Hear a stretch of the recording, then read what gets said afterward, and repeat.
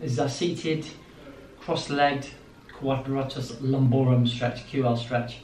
Muscles sit behind and to the side of your back muscles either side. So what we do in this one, we anchor the hips down with our knees crossed. And take our hand, put it just behind our head, and all we're going to do is going to reach forwards and across over our right knee to stretch out our left side the back.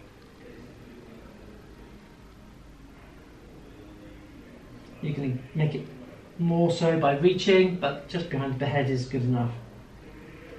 Come back, and go the other way. Just using the other hand to support.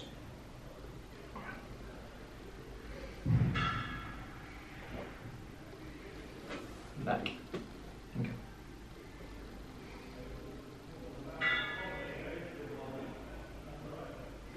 We change legs, course one over the other so we can get more so of a stretch from one side than the other. And off we go again.